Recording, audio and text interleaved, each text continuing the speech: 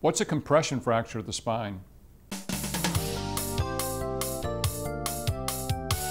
Each of us understands that our spine is made up of bones, and those bones, bones are called vertebra. And the vertebra go from the neck down to the sacrum, the very tip of our spine, uh, below our waist. Uh, each of those vertebral bodies uh, stack sort of on top of one another, and they fit in a very uniform fashion. And they're made to move or articulate against one another back and forth when we move. That's how our spine moves front and back when we bend.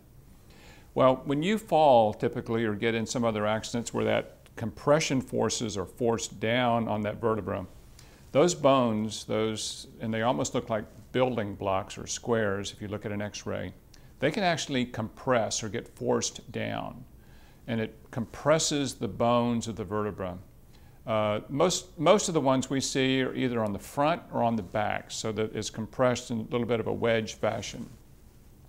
If the doctor who's treating you with a compression fracture is going to measure the extent of that vertebral compression used, using an x-ray and sort of measure whether it's 10, 15, 20, or 30% of the height of the vertebrae.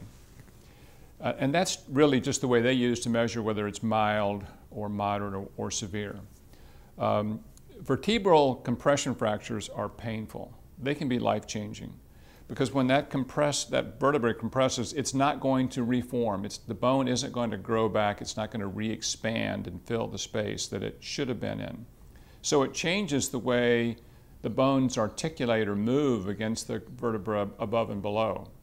And the whole thing sets up kind of an inflammatory process, which can be very tricky and very difficult to treat. These are serious injuries that need to be treated seriously. Some people, fortunately, recover quite well, but there is a distinct uh, percentage of people that have lingering, persistent complaints from compression fractures, and they are a serious injury.